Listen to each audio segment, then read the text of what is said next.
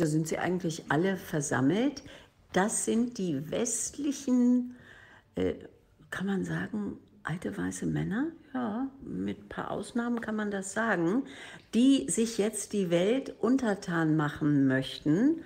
Sie sind die Geldgeber, die jetzt die Welt kaufen wollen, erstmal großzügig angeblich unterstützen und dann irgendwann ist es ihr Eigentum und dann zahlt der Mensch wahrscheinlich, wie du das mal rausgearbeitet hast, Andreas, wenn er atmen möchte und vor allem ausatmen, das ist ja dann wieder CO2.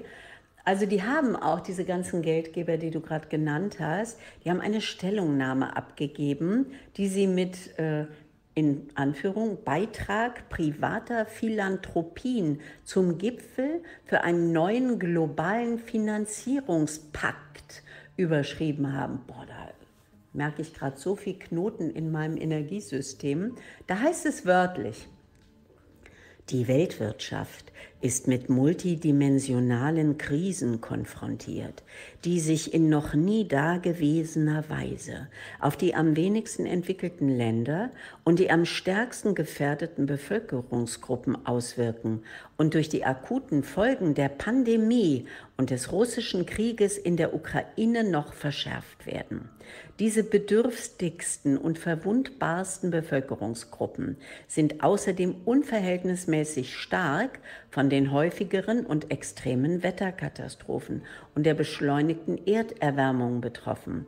Ohne vorausschauende Anpassungsmaßnahmen Anpassungsmaßnahmen wird die Bewältigung dieser Auswirkungen noch komplexer und kostspieliger werden, mit kaskadenartigen Folgen. Hatten wir vorgestern auch schon diese kaskadenartigen Folgen. Es ist immer wieder unglaublich. Es ist kaum noch zu kommentieren, wie man sich hier eine Welt nach typischen Mustern immer wieder zurechtzimmert, in der die Hauptnutznießer der ungerechten Weltsystematik hier als die Retter auftreten und die Ingenieure der neuen Welt, wo sie vermutlich wieder ganz oben stehen werden.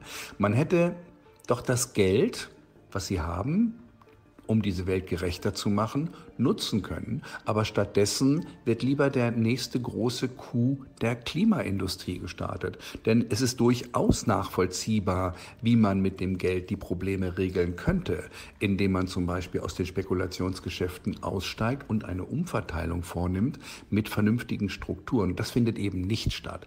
Und diese ganze Geschichte hier läuft nach den bewährten Mustern.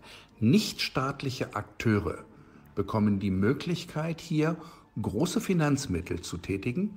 Besser müsste es heißen, profitorientierte Investitionen vorzunehmen, um dann strukturelle, strukturelle Hindernisse für die Verwirklichung der sogenannten Nachhaltigkeitsziele der Agenda 2030 zu beseitigen.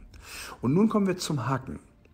Als Gegendeal dazu müssen nämlich die Industrieländer, sprich die Staaten, sprich die Steuerzahler, ihre Zusagen einhalten, etwa über die jährliche Klimafinanzierung von 100 Milliarden US-Dollar für Entwicklungsländer sowie über die Verdopplung der Klimafinanzierung für Entwicklungsländer bis 2025 gerade zu stehen. Das heißt also, dass die Staaten den weitaus größten Investitionspart dieses gigantischen Klimageschäfts vornehmen müssen und die Privatiers nur die Anschubfinanzierung machen, was sie dreifach wieder rausholen. Und das ist ein geniales Geschäftsmodell unter dem Deckmantel der Hilfe und der ganz großen Moral. Ja, das muss für dich als Ökonom natürlich hier ein durchsichtiges Gebilde sein, über das wir hier sprechen. Ein Geschäftsmodell, wie du gesagt hast, ein geniales. Ihr Lieben, wir arbeiten solche Aufsätze, die bei wirklich guten Portalen wie der Achse oder eben Tichy oder oder oder äh, erscheinen. Deswegen für euch durch, weil uns klar ist, dass die wenigsten von euch die Zeit dazu haben, das Ganze durchzulesen, durchzuarbeiten und durchzudenken.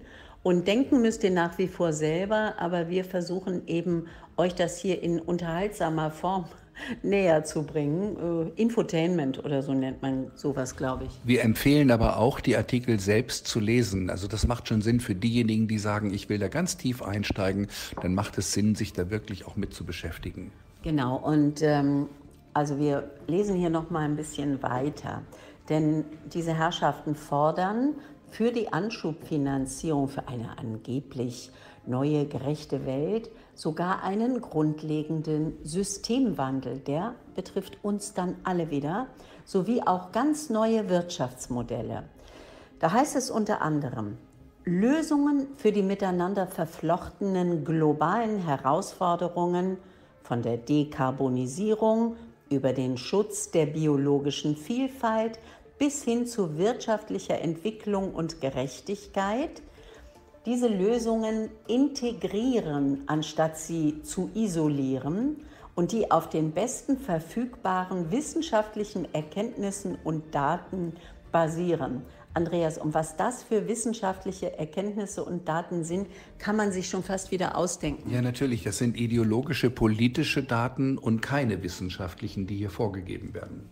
Ja, und weiter heißt es, es wird also ganz vollmundig verkündet, wörtlich, wir sind bereit, die Synergien zwischen philanthropischen Organisationen, privaten Investoren und multilateralen Entwicklungsbanken sowie multilateralen Klimafonds zu stärken. Zitat Ende. Ja, und so seien sie angetreten, heißt es, um die gesundheitlichen und wirtschaftlichen Risiken des Klimawandels zu verringern, präventiv, versteht sich, und sich für die Lebensmittel- und Ernährungssicherheit zu engagieren. Und zum Beispiel, und äh, jetzt stehe ich hier völlig fassungslos vor diesem Endsatz, und zum Beispiel die Allianz Gavi zu fördern. Ja, das ist wirklich unfassbar. Es ist so, so klar wie Kloßbrühe. Also die Lebensmittel- und Ernährungssicherheit, dafür will man sich engagieren, wobei wir gerade hören, dass man die Bauern dazu verpflichtet, keine Lebensmittel mehr anzubauen. Also irgendwie passt da ja was nicht. Das sind ja Widersätze. Und äh, die Allianz natürlich dann zu nutzen, dass jeder in die Spritze läuft. Also das ich bin ja wirklich klar in meinen Aussagen, auch bei diesen Behauptungen, dass solche Sachen oft nicht wissenschaftlich sind.